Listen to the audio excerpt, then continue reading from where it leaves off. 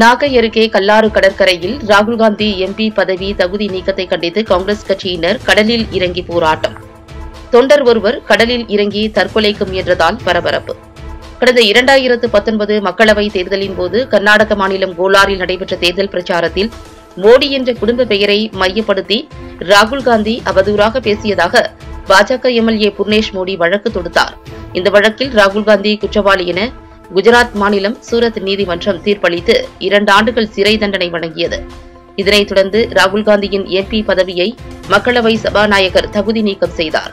இதனால் நாடு முழுவதும் உள்ள காங்கிரஸ் கட்சியினர் அதிர்ச்சியடைந்து பல்வேறு போராட்டங்களை நடத்தி வருகின்றனர். இதன் ஒரு பகுதியாக நாகை அருகே உள்ள கல்லார் கடற்கரையில் மாவட்ட தலைவர் அமிர்தராஜா தலைமையில் திரண்ட காங்கிரஸ் கட்சியினர் கையில் கட்சி கொடியை ஏந்தி கடலில் இறங்கி கண்டன போராட்டத்தில் ஈடுபட்டனர்.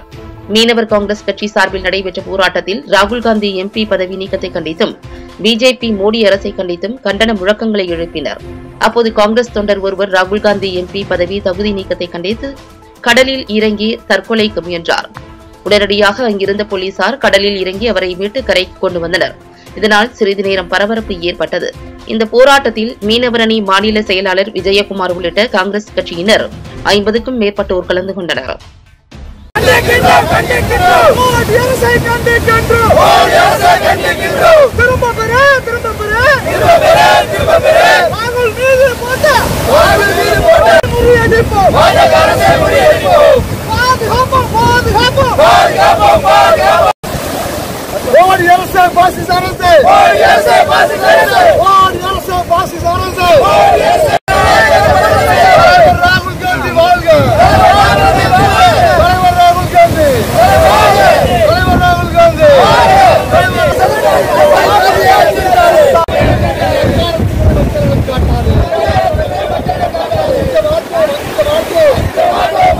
மோடி அரசை கண்டிக்கின்றோம் மோடி அரசை கண்டிக்கின்றோம் மோடி அரசை கண்டிக்கின்றோம் மோடி அரசை கண்டிக்கின்றோம் பரவிலகு பரவிலகு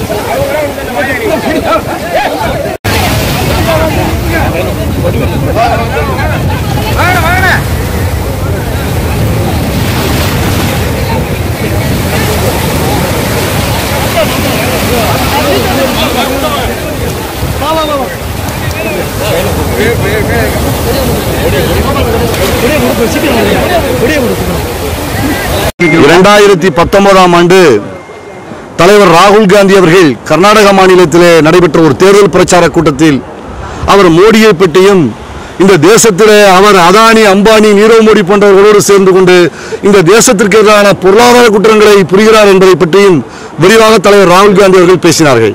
அதை ஏற்றுக்கொள்ள முடியாத மதவாத பாசிச ஜர்வா ஜனநாயக ஜனநாயகத்தை ஏற்றுக்கொள்ள முடியாத இந்த மோடி அரசு சூரத் நீதிமன்றத்தில் ஒரு அவதூறு வழக்கை போட்டு இரண்டு ஆண்டுகள் தண்டனை வைத்த தலைவர் ராகுல் காந்தி அவருடைய எம்பி பதவி இன்றைக்கு பறித்திருக்கிறது இது முற்றிலும் ஜனநாயக விரோதமானது. இன்றைக்கு இந்தியாவில் இருக்கிற கோடானு கோடி மக்கள் மத்தியிலே தலைவர் ராகுல் காந்தி அவர்கள் அத்தனை மக்களினுடைய இதயங்களிலும் இடம் பிடித்து விட்டார்.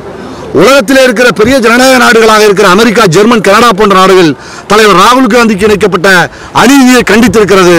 இந்திய தேசிய காங்கிரஸ் கட்சி வருகிற மாதங்கள் இந்த மாதம் முழுமைக்கும் பல்வேறு ரீதியான போராட்டங்களை ஜனநாயக போராட்டங்களை முன்னெடுத்திருக்கிறது. ஆகவே ஜனநாயகத்தை விரோதியாக பார்க்கிற மக்கள் உறவு மோடி அரசு உடனடியாக தலைவர் ராகுல் காந்தி மீதான வழக்கையும் தண்டனையும் திரும்ப பெற்று இந்திய நாடாளுமன்றத்திலே மீண்டும் தலைவர் ராகுல் காந்தி அவர்கள் இந்திய மக்களுக்காக பேச வேண்டும். அதற்காகத்தான் இன்றைக்கு தமிழ்நாடு மீனவர் காங்கிரஸ் சார்பில் போராட்டம். இந்த போராட்டம் தினந்தோறும் நடைபெறும். அதுவரை ஒவ்வொரு காங்கிரஸ்காரர்களும் ஓய மாட்டோம் பாசிச மோடி அரசு உன்னை கண்டிருக்கிறோம். பின்னால் இருக்கிற ஆர்எஸ்எஸ் உன்னையும் உன் சர்வாதிகார போக்கரையும் கண்டிக்கிறோம். நன்றி வணக்கம். ஜெய்ஹிந்த் வங்காள விரிகுடா கடலில் இறங்கி தலைவர் ராகுல் காந்தி மீதான வழக்கை திரும்ப பெற வேண்டும் என்றும் மீண்டும் அவரை எம்பி பதவிக்கு கொடுத்து அவர் இந்திய நாடாளுமன்றத்திலே அவர் போராட வேண்டும் பேச வேண்டும் என்பதற்காகவும் மீ தமிழ்நாடு மீனவர் காங்கிரஸ் சார்பில் இந்த கண்டன ஆர்ப்பாட்டத்தை கடலில் இறங்கி நாங்கள் நடத்தியிருக்கிறோம்.